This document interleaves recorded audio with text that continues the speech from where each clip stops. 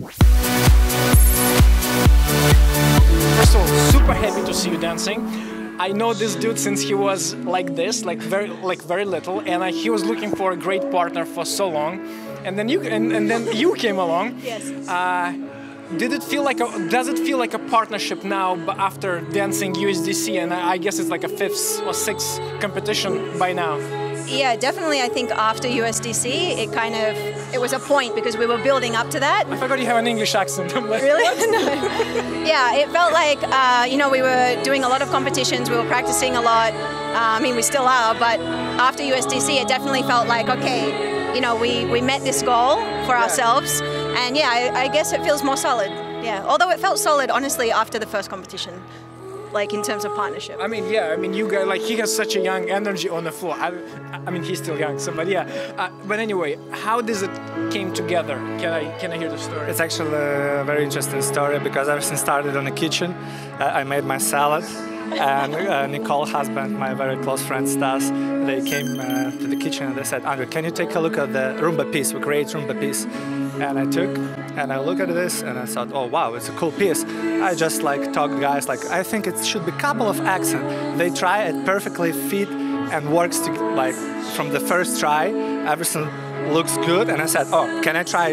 I want to try right now too. I try with Nicole and then Stas asked me like, how did you feel with Nicole? Because Stas definitely decided to quit dancing and I said, it feels good. And a couple of uh, uh, party on the backyard.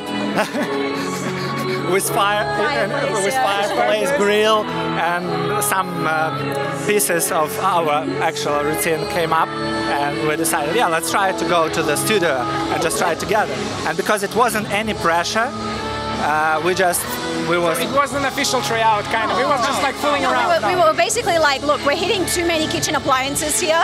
Let's just go to the studio and, and see how it is when we have space. yeah Okay.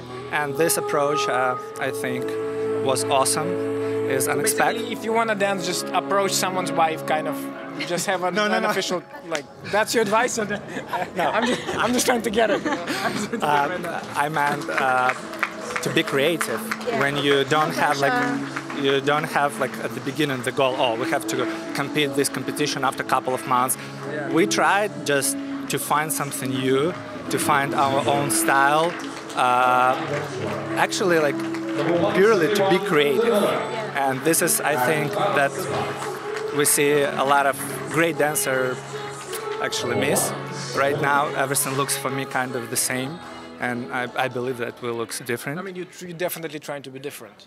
But can, but can I ask something? So, I do remember Sta- Stas wanted to retire, but I don't remember you wanted to retire. Honestly, at that point when he decided to stop, I was kind of okay with it because I felt like I'm never going to dance again, not with anyone else. It's not going to happen. So if I'm not going to dance with Stas, I don't want to dance anymore. What swayed your decision I to missed, this I, I, sweet piece of I mi- uh, I missed it. I missed it. Honestly, I just I missed dancing. I just missed it. After after a year during the COVID time, I started to you know miss it a little bit. So that's why Stas and I were trying some pieces just just for fun, you know. And then yeah, like you said, we went to the kitchen and Andrey was there. We're like, what does this piece look like, you know? So you guys are very cool people. So just one challenge. So how would you describe yourself to be different, on, like on the floor, in one word? In one word, In one word. In- just in one word, yeah. Like if you want to be different, just what word did you choose to describe yourself? I think I think to it's not it's not it's not one world, but I think uh, the difference is because we dance every dance like new one. like it's almost like it's our last because Yes. I think because we came into it really not knowing where this would go and we, we literally treated our first competition as though it was the last Yeah. and I think that especially now I really didn't think that I would It's too many words. Okay, Sorry. so- so- sure, I sure. Didn't, I didn't think that I would start dancing again, honestly. And now that I kind of am, well, I am. I'm not kind of, but it makes me really Still kind- try out. Still try Still casual try out, people. No, it, it really makes me appreciate every moment, you know, because And it looks like it actually. I just wanted to say. It's it's a lot of really cool moments that we shared during the dance, and I feel I feel every honestly like every dance is like a small but our unique show. This is how I feel.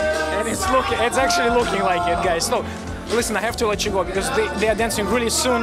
Thank you for stopping by and sweating right here. Uh, you know, It's a big pleasure.